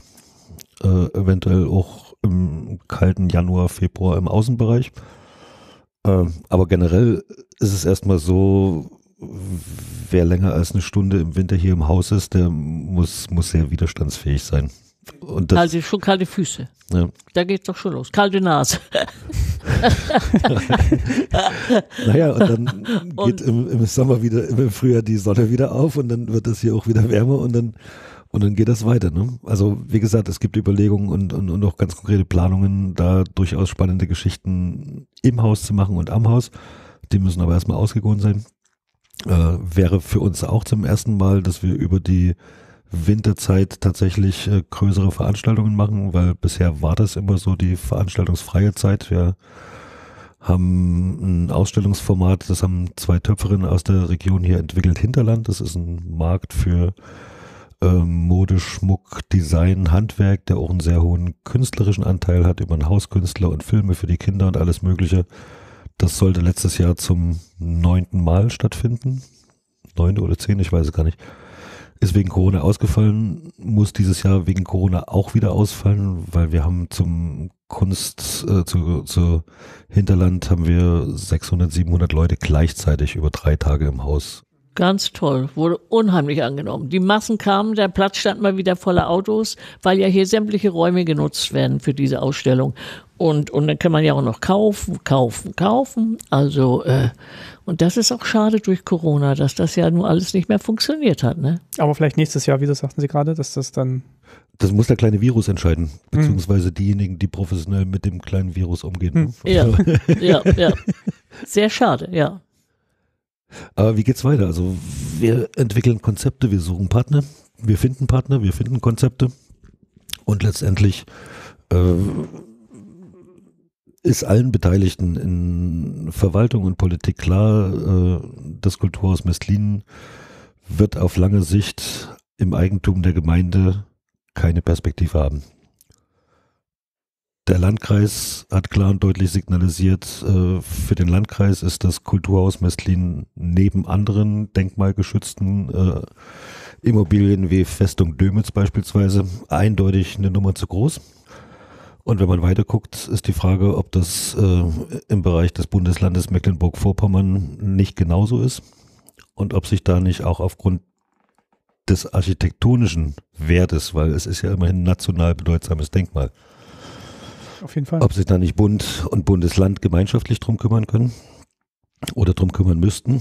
Sprich also, es muss mehr oder weniger ein, ein, ein Eigentümer und Betreiber gefunden werden, der finanziell dazu in der Lage ist, dieses Haus mit allen Möglichkeiten in allen Ebenen äh, zu bespielen und zu finanzieren. Und bei der Gelegenheit nicht nur dieses Haus, sondern genauso die beiden anderen großen Immobilien, was die Schule betrifft und was das Landambulatorium als Problemkind betrifft, mit einbezieht und der vielleicht sogar die Möglichkeit hat und das will und dem wollen wir gerne Hilfestellung geben und das wollen wir weiter vorantreiben in unserem Verein äh, das Potenzial, was dieses ehemalige sozialistische Musterdorf in seiner Gesamtheit hat. Also auch die Bestandteile, die heute im Besitz der Wohnungsgesellschaft sind oder privatisiert worden sind, wie Wasserwerk oder so was. Das ist schon spannend, ne? Also ich komme aus dem Vogtland, äh, da gibt's ein Bauernmuseum und da hat man über Jahre hinweg äh, alte vogtländische Holzhäuser zusammengetragen aus dem 17., 18. Jahrhundert hat die umgesetzt auf eine große Wiese und jetzt kommen da Menschen und gucken sich an, wie hat man denn vor einigen Jahren in dieser Region gelebt, äh, äh, wie haben die Leute gewohnt, wie war die Architektur. Und für so eine Geschichten ist dieses ehemalige sozialistische Musterdorf eigentlich die einzige Referenz, weil es ist ja das einzige. Also das gibt's nirgendwo anders. Ne? Und wir können uns durchaus vorstellen, dass das äh, inklusive äh, der künstlerischen, kulturellen und soziokulturellen Nutzung des Hauses auch tatsächlich eine wirtschaftliche Perspektive für die Gemeinde und für die Region ist, weil das hat ja dann im Ende auch irgendwas mit Tourismus zu tun. Ne? So ein großes Freilichtdenkmal in dem Sinn quasi fast. Kein Disneyland, kein Freilichtdenkmal, sondern ja. ein, ein, genutztes, national bedeutsames ja. Denkmal. Hm. Und es ist ja so, äh, das, was ich ja vorhin äh, damit auch meinte, wenn das wirklich ganz übernommen wird, inzwischen ist es ja auch schon wieder ein bisschen bekannt und wird ja auch angenommen. Es kommen ja äh, Autos ohne Ende, wenn hier irgendwelche besonderen Ausstellungen sind. Es wäre schön, wenn man in dem Bereich sich mal wieder entwinden würde, Mensch, da ist ja noch was, hier können wir ja noch was machen. Das ist schwer. Es ist schwer, denn es, ich bin auch immer wieder erstaunt. Ich denke, oh Mensch, schon wieder so viele Autos, was ist da los? Also es, es besteht Interesse. Es ist bekannt, das Haus. Aber eben nicht mehr so wie früher zu meiner Zeit, als wir jung waren und hier anfingen und äh, ja auch wirklich alles hatten, was man sich denken kann. Und jeder sich wohlfühlte und auch zu Hause war und es ja auch gleich die Wohnungen ja da waren. Ne, es wurden ja überall die neuen Die, Wohnungen. Neu, die Neubauwohnung. Ich zeige Ihnen nachher nochmal die genau, alte wir gehen gleich noch ein Dorfstraße, bisschen draußen gucken. woraus Messlin äh, Eck oder wo entstand oder war. Ne, Es war ja nur ein, ein einfaches altes Dorf. Aber wir haben eine Riesenkirche in diesem Ort. Äh, es wohnt sich hier sehr gut. Von meiner Seite aus, sonst würde ich ja wohl gar nicht noch hier sein. Der Enderlein hält es ja auch schon lange hier aus, ne? Ja, genau. ja, so ist es tatsächlich. Also die hier wohnen, wohnen immer noch gerne hier. Aber es ist traurig, wenn man dann auch sieht, wie, wie die, die Anzahl der Bürger verringert. Hm. Gut ist wieder, dass doch jetzt schon wieder einige bauen hier. Dann würde ich sagen, nutzen wir mal dieses letzte Licht am Nachmittag noch und gucken uns draußen noch ein bisschen um. Und ich danke Ihnen beiden jetzt erstmal hier drinne für die Geschichte des Kulturhauses und Ihre eigene persönliche Geschichte, die damit verbunden ist. Ja, und Sie können sich ja das Haus ja, wir können uns das ja ansehen. Genau, ich nehme jetzt gleich, pack hier das zusammen, mache ein kleines mobiles Setup und dann gucken wir uns das noch ein bisschen an. damit sie überhaupt eine Vorstellung haben, wie, Ja. wie das Haus hier ist und war und werden kann und soll. Dann machen wir das. Ja. Vielen Dank erstmal. Gerne. Ja, bitte.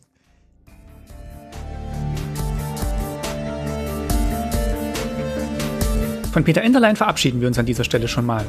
Lotte Hansen und ich gehen aber noch wie versprochen auf einen Streifzug durchs Haus, das am letzten Tag der Kunstaktion noch voller Bilder der Fotografiekünstlerinnen hängt.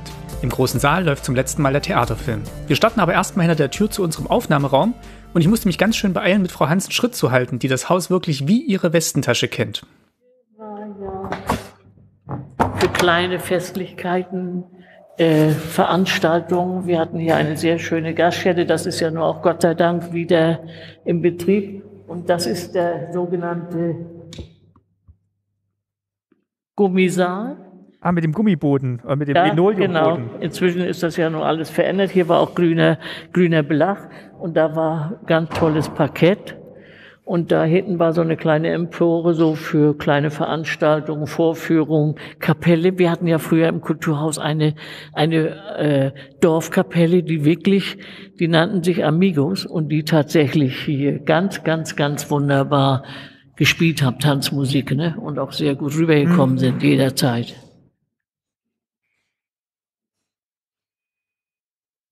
Und hier wurde sehr, sehr viel gefeiert. Betriebsfeste, äh, Jugendwein, Hochzeiten, alles was so, so privat auch. Ne? Wunderschön. Das ist direkt hier an, das ist direkt hier angeschlossen an die kleine Bar. Ja, Und wo wir jetzt aus der Weinstube rausgekommen sind, sind wir jetzt an der Bar vorbei und das ist jetzt quasi dieser Gummibodensaal. ja, äh, ja. äh, Gummisaal. Das ist, heißt heute noch Gummisaal. Jeder weiß, wenn wir sagen Gummisaal, wissen Sie Bescheid, was damit. Weil ja die, die Einrichtung auch sehr schön war. So, jetzt kommen wir wieder raus ins Foyer. Und hier in diesem Foyer waren die Garderoben. Hier war wunderschöne Sitzecke. Hier war auch eine Sitzecke. Und es war ein toller, wenn man hier reinkommt, ein, ein toller Blick durch diesen blanken Boden damals. Und äh, war immer sauber, immer toll. Und wir, wie gesagt, wir hatten ja hier einen Verwalter, der hier auch gewohnt hat und auch die ganze Ausstellung auch äh, war sehr geschickt. Er hat tolle Plakate gemalt. Es war ja immer hier rechts und links die beiden Rundbögen. Da sind kleine Büros, da gab es die Karten, da saß dann die, wie soll ich sagen, die Buchhalterin.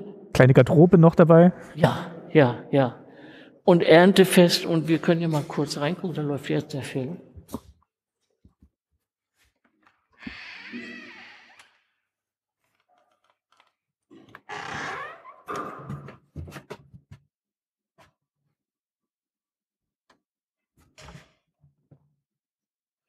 Was, so viel Trinkgeld?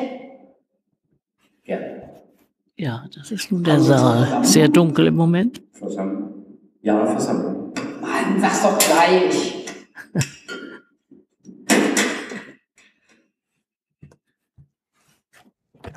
Wir gehen wieder raus. So, und dieser Saal. Genau, wir waren jetzt gerade im großen Saal. Ja, im großen Saal und der war, war sehr schön bestuhlt.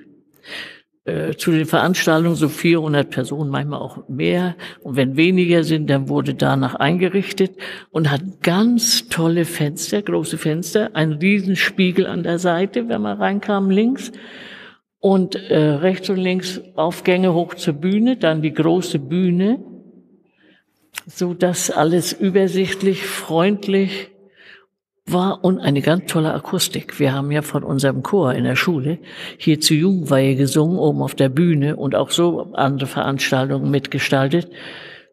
Es klingt unheimlich gut. Man glaubt es nicht. Es ist wunderbar äh, damals gebaut. Ne? Und da läuft jetzt gerade der Film, wo Sie auch mitspielen. Ja, genau.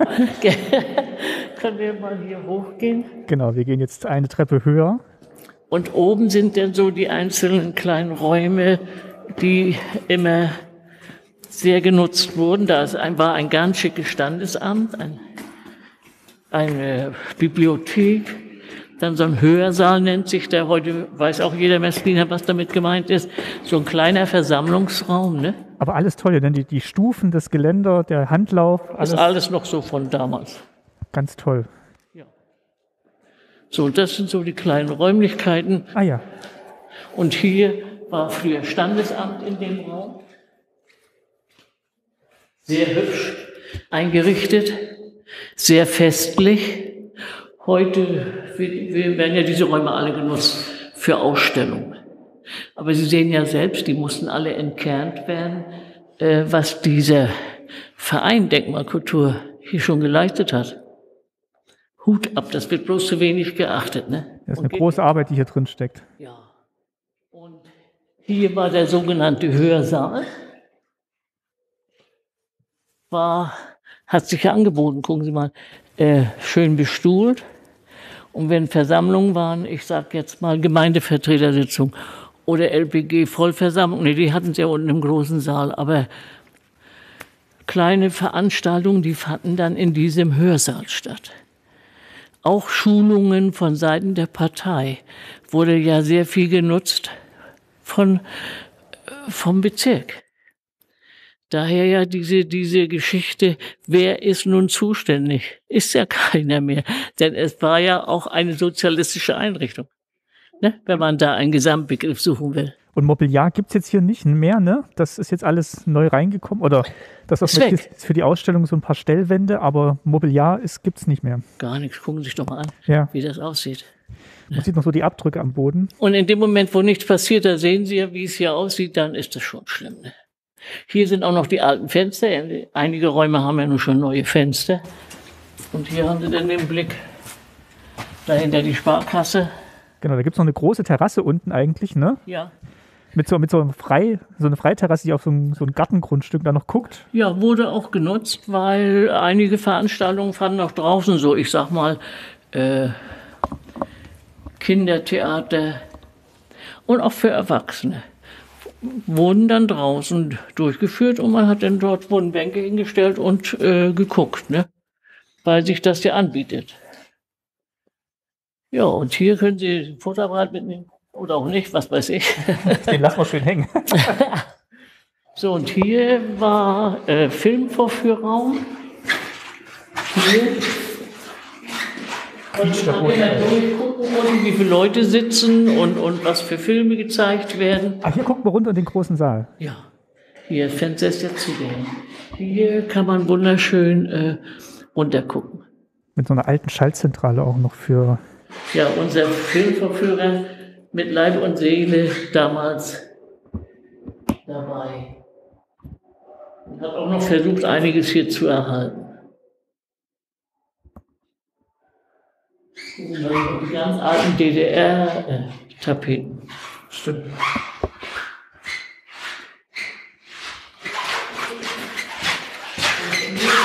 Die, die Filmkameras äh, hier.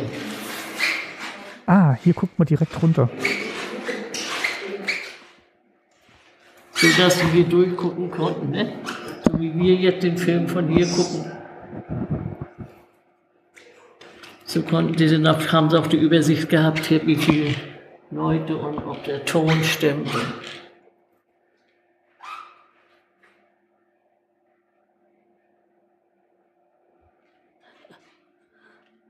Sieht man noch die alten Kabel hier rausragen.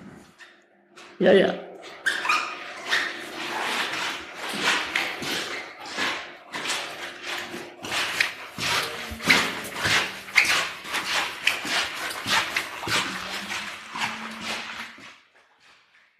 Aber wirklich großzügig und viel Platz. Viel Platz. Und auch großzügig, äh, wie man es heute ja wieder macht, eingerichtet. Totschicke Schränke. Wo sind die geblieben? Weg. Tolle äh, Sitzgruppe. Ah, Keiner weiß mehr, wo was geblieben ist.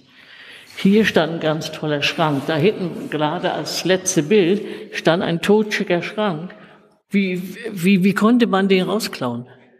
Das ist heute noch ein Rätsel. Dass das keiner gemerkt hat. Ja, das kommt dazu. Das war also. Und hier war mal die Bibliothek. Zuerst wurde das eingerichtet als Gymnastikraum. Hier waren Leitern, so, wissen Sie, für Sport. Ah, mhm. Und da sind noch zwei kleine Räume. Da wohnte, in dem einen wohnte damals hier der Kraftfahrer. Und in, in dem anderen wohnte damals hier der Filmvorführer. Die waren ja alles noch junge Burschen damals. Die haben hier gewohnt quasi und waren. Ja, in den Zimmern jeweils, ne? Wurden die Räumlichkeiten genutzt. Und hier war der Gymnastikraum und da wurde später die Bibliothek hier eingerichtet. Eine ganz tolle Bibliothek. Und nach der Wende, die unsere Bibliothekarin damals, wurde ja dann auch gekündigt. Und die war sogar nervlich am Ende. Die musste erstmal zur Behandlung. Die konnte es nicht verkraften Dass das hier zu Ende ist. zu Ende. Und es wurden die Bücher einfach auf den LKW geworfen. Einige konnten sich was holen, wer wollte. Ich weiß, ich habe mir auch noch ein paar geholt. Äh, Das wurde einfach alles raus. Und ein Haufen CDs und so wurde so vergeben. Ich weiß gar nicht, das war Chaos, hoch drei. Weil es konnte keiner was machen. Es gehörte keinem plötzlich. Ja, es war so eine, eine un, ungeklärte Zeit quasi. Eine total und eine ganz unübersichtliche Geschichte. Denn die Bürgermeister hatten ja nach der Wende selbst zu tun, wie wir hier nun klarkamen. da war alles neu und dann, Alles dicht. und dann stand das Kulturhaus Dieses, dieses 40 Jahre äh, Dorf in der Entwicklung ganz toll mit allem und plötzlich war für uns diese Wende, ja, da kannst du sagen, war ein Niedergang des Dorfes. Ne? Denn wo, wo gab es das, ein sozialistisches Dorf? Das wurde dann nicht mehr gestützt quasi von, von, Und von der es sollte ja gezeigt werden, wie man auch auf dem Dorf, so, so war es ja angedacht, leben kann. Und hat ja auch geklappt. Ja. Total. ja. Total. Denn wir kamen ja auch alle harmlos hierher und waren ja schon über 40 Lehrer an der Schule, über 400 Schüler, genauso wie in der Stadt. Es wurde angebaut, ich zeige Ihnen das nicht. Ja.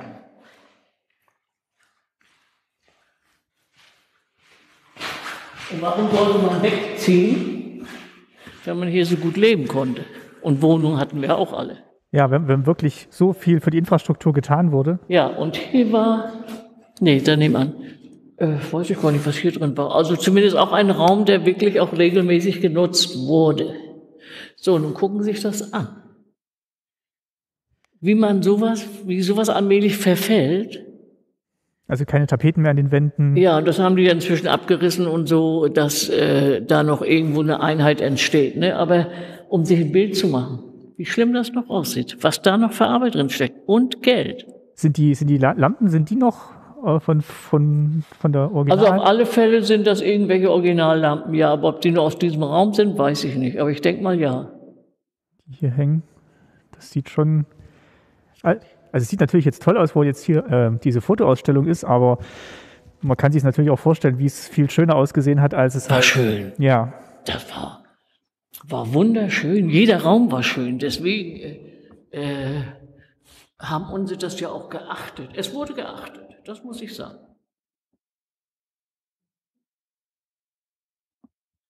Wie gesagt, wenn denn etwas war, Treffpunkt, auch außerunterrichtlich, waren wir ja sehr aktiv an unserer Schule. Wir hatten einen ganz aktiven Schulleiter und Treffpunkt Kulturhaus. Ne? Wenn was war, Kulturhaus. Nicht in der Schule, sondern im Kulturhaus. War alles hier. Ist ja alles hier. Die Räumlichkeiten unten im Raum, im Kellerraum war GST, äh, Schießübungen, da war dann noch ein Raum, wo, Das hat man auch hier gemacht. ja, ja, die haben unten geschossen, ja. Heizung, wir hatten ja eine ganz fleißige Heizer, die hier Kohlenschaufeln müssen, wissen, wie die geschubst haben. Dieses äh, zu heizen und jeden Tag Kohlen zu schaufeln, von draußen nach drinnen. Oh.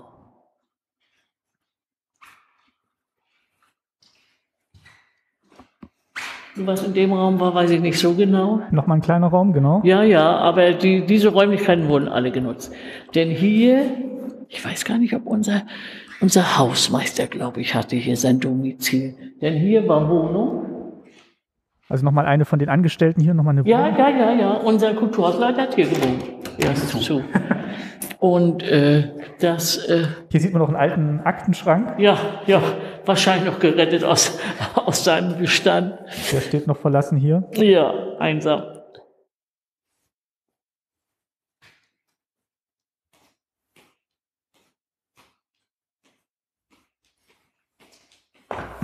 Wir jetzt über ein zweites kleines sind Treppenhaus denn nach unten. inzwischen ja schon äh, bessere Fenster drin, ne? Ja. Und die sollen ja auch äh, dementsprechend passen. Äh, Holz und keine Plaste, ne? Ja, ja, also es ist. Man kann es an vielen Stellen noch erahnen, wie schön es mal war. Ne? Ja, ehrlich, war auch. Also wer, wer was anderes erzählt, der spinnt, aber erzählt auch keiner anders. Ja, und hier wird, ja- werden die Wände jetzt immer so für solche Ausstellungen genutzt. Ja, hier fehlen auch manchmal so Stücke ne, in der Treppe. Aber eigentlich tolle Steine, die Treppe.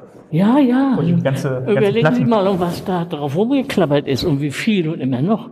Und das ist immer noch von der damaligen Zeit, ne?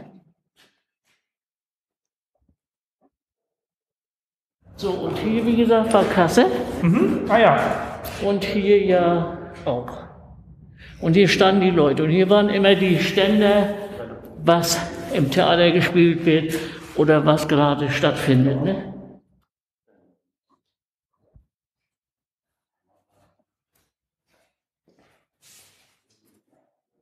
Sie, da sitze ich. Ah ja, als Das König. bin ich. Hier draußen, wo er doch die Kinder anruft. Der hat ja gar nichts an. Und so. Das ist ganz, an sich ganz hübsch.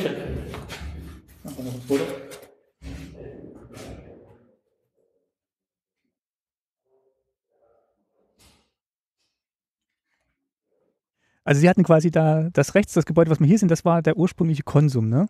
Da, Ja. in dem Gebäude. Das, das war äh, das erste Gaststätte. Mhm. Und da hinten, wo die größeren Fenster sind, da ist heute immer noch ein bisschen Büro hier für Denkmalkultur. Da war Industriekonsum. Da konnte man also alles kaufen. Und daneben, da wo jetzt der Jugendclub ist, da war Gemeinde und Post drin, ne? Ja. Gemeindepost und oben waren Wohnungen. Da hat, hat hier unser Postmeister gewohnt. Äh, Ja, die von der Post haben da oben gewohnt. Der Bürgermeister hatte oben seine Wohnung. Äh, es war alles immer im Zentrum hier, alles zusammen. Alles um den Marx-Engels-Platz hier rum. Ja, alles rum. Immer.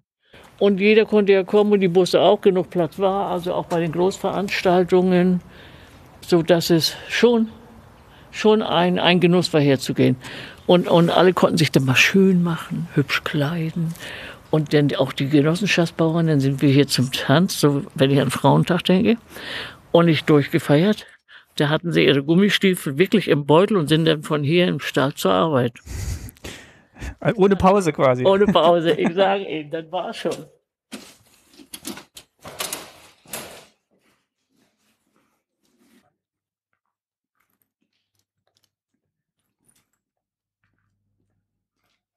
Ach ja, es war, war, eine, ach, es war eine schöne Zeit. Naja, und inzwischen sind ja hier schon neue Türen entstanden. Einfach mal zumachen. Das sieht man so gar nicht, was das schon, was hier schon für Geld drin steckt. wissen Sie. Ja, allein so ein Fenster, ne? Ja, und auch hier die ganzen Tritt, Tritte, sag mal Tritte, wurden ja fertig gemacht, die waren ja Loch an Loch. So die, die Platten. Und das sieht man gar nicht, dass da schon so viel Geld investiert wurde. Ne? ja, ich habe es vorhin von der anderen Seite gesehen, das sieht wirklich toll aus. Also wie so ein hochherrschaftliches Haus. Ne? Ja, ja, ja. Und da hinten fährt der Trecker vorbei. ja, genau, genau. Vielleicht nochmal hier rechts rum erstmal, Ja. um nochmal auf die, wegen der Terrasse, Komme ich mal von der Seite? die auch genutzt wurde für Feierlichkeiten draußen. Wenn denn draußen getanzt wurde, schönes Wetter. Hier waren sehr viele Tanzveranstaltungen in dem Saal, hat sich angeboten, hat sich da herrlich getan. Ein, noch eine Terrasse hier. Ja. Die habe ich vorher noch gar nicht gesehen.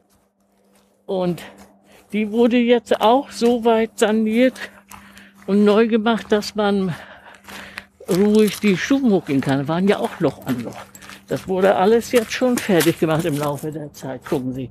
Und das sind jetzt die Terrassen hier für den großen Saal. Da kommt man raus vom großen Saal oder kämen wir raus, Ja, wo jetzt gerade drin der Film läuft. ja, genau. Hier draußen.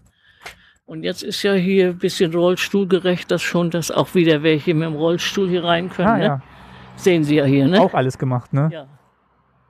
Bloß es wächst alles wieder zu. Ja. wenn nichts passiert. Gucken Sie mal hier, dieses Mauerwerk und so. Es sieht eben alles. Mein Sohn sagt letztens, Mutti, wenn ich mal gewinnen würde, eine Million, würde ich glatt dem Kulturhaus geben, damit hier wirklich mal ein schönes Haus wieder, wieder entsteht. Ne? Ja. Lampen inzwischen, dass die auch abends leuchten, wenn was ist. Aber Sie sehen mal, ne? Wo ein Stein fällt, fällt mehr. Wo ein Putz runtergeht, geht mehr.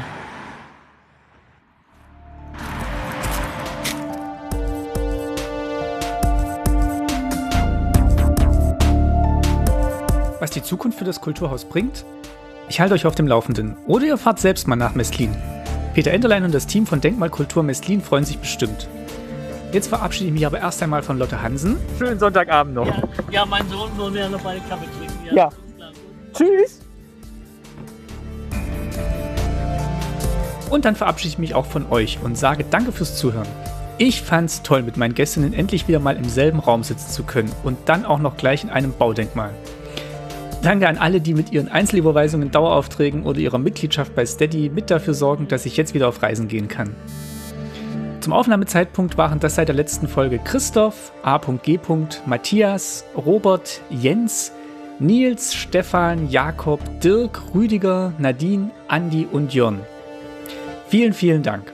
Auf www.staatsbürgerkunde-podcast.de findet ihr unter dem Link Unterstützen alle Infos dazu, wie ihr mit einem Betrag eurer Wahl zum Projekt beitragen könnt. Ich freue mich auf jeden Fall riesig über jeden Euro, den ihr in den Hut werft. Außerdem gibt es den Podcast jetzt endlich auch auf Spotify. Ich habe mich nach 100 Folgen dazu durchgerungen und freue mich, dass dort auch schon einige von euch Staatsbürgerkunde folgen. Herzlich willkommen. Ich wandere aber nicht dahin ab. Ihr könnt Staatsbürgerkunde weiterhin kostenlos mit jedem Podcatcher eurer Wahl abonnieren. Aber wenn ihr den Podcast jetzt jemandem empfehlen wollt, eine Plattform zur Auswahl mehr. Ein Dankeschön geht wie immer auch ans DDR-Museum Berlin, das diesen Podcast unterstützt. Schaut gerne mal auf der Website oder dem Blog vorbei. Neben dem eigentlichen Museumsbesuch bietet das Haus noch viele weitere Informations- und Bildungsangebote, auch online. Das Intro stammt wie immer von Wolfgang Wörle. Der Track heißt Ambient One. Und falls ihr Unterstützung bei euren eigenen Podcast-Projekten benötigt, kommt gerne mal vorbei auf www.daselbst.de. Da könnt ihr mich für Workshops, Beratungen und Auftragsarbeiten engagieren. So, das war's für dieses Mal. Ich freue mich über Feedback auf allen Kanälen und sage Tschüss bis zur nächsten Folge. Euer Martin.